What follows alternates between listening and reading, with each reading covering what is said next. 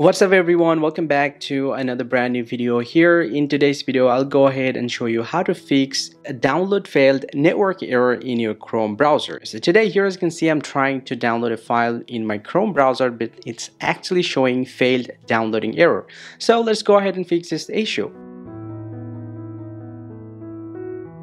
So first thing first, you need to make sure that the internet problem is not interrupting your downloading process. So now you need to check out your download location and the storage. So to do that, simply head over to this three dot icon over here and then go to the settings. Go ahead and click on download. So make sure to select the right location from here. I'm just going to go ahead and click on change and go to this PC and find out that which drive that you have enough storage. Select the storage in order to download the file over there. I'm going to select D drive go ahead and select this one. In most cases, your problem is going to be solved after following this issue. But if you're still having the same problem over and over again, then let's follow the last and final way to solve your issue.